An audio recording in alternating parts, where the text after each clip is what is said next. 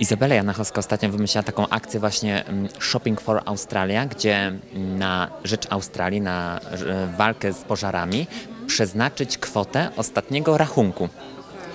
Co ty myślisz o takim pomyśle? Ja myślę, że każda pomoc jest dobra.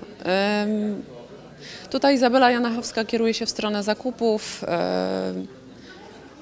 jest jej pewnie bliska moda na co dzień, więc poszła w tym kierunku. Nieważne w jaki sposób pomagamy, ważne, że jest tego jakiś efekt. Zatem każda pomoc jest ważna. Komentowanie tego, negowanie, wiesz, krytykowanie nigdy nie ma sensu. Ważny jest rezultat, więc jeżeli, e, jeżeli dużo osób przyłączyło się do tej akcji, to znaczy, że super. No, pojawiły się też głosy, że o, bo gwiazdy to by mogły jednak być bardziej hojne. Jak ty, jak ty komentujesz taką, takie odpowiedzi? Ja myślę, że każdy powinien bazować gdzieś na to i na swoim sumieniu. I łatwo jest nam, wiesz, wytykać palcem, kto ile robi, ile powinien, a na ile mógłby i tak dalej, i tak dalej.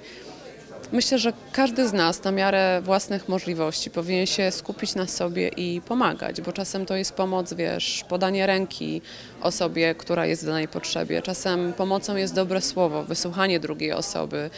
Już tak nie celujmy w tych naszych e, biednych celebrytów, bo ym, myślę, że odcinamy, podcinamy im wtedy skrzydła do chęci komunikowania tej pomocy. Wiesz, to jest trochę tak, że jeżeli e, osoba znana medialnie próbuje wejść z jakąś inicjatywą i jest za to krytykowana, to jest duże prawdopodobieństwo, że nie podejmie się takiego działania po raz kolejny.